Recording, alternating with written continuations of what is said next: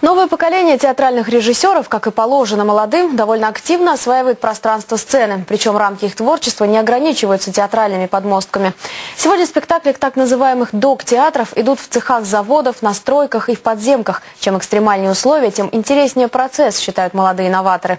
Кстати, в этом году даже премия «Золотая маска» поменяла название номинации «Новация» на «Эксперимент». Один из претендентов на главную национальную театральную премию – нашумевший спектакль «Ликвидация» Ликвид театра. Правда, увидеть постановку практически невозможно. Почему, расскажет Андрей Протасов.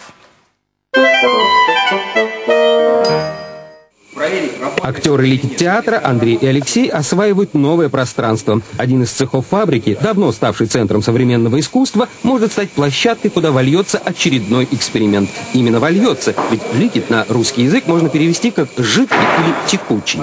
Театр, пребывающий в агрегатном состоянии жидкости, которому, э, которому вот э, то, про что мы говорим, театральная коробка не важна. Он втек, э, то есть, да, в идеале втекает в любое пространство. Жидкость всегда принимает форму сосуда, в котором она находится. Так и спектакль «Ликвидация» всякий раз меняет свою концепцию и идею в зависимости от площадки, на которой его играют. Какой бы то ни было литературной основы нет. Главные составляющие – свет, живое музыкальное сопровождение и спецэффекты. Как вот у Полунина сноу-шоу, ну, я не говорю, конечно, что у нас как в Полоне сноу-шоу, но он тоже состоит из набора миниатюр на определенную тему. То есть эмоциональное ощущение зритель считывает. Дамы и господа, прослушайте инструкцию по безопасности на данном объекте. Предупредить публику об опасности актеры считают своим долгом, а то, мало ли, вдруг кто-то пришел расслабиться в мягких театральных креслах, а тут надо ухо держать востро. То и дело лампочки бьют.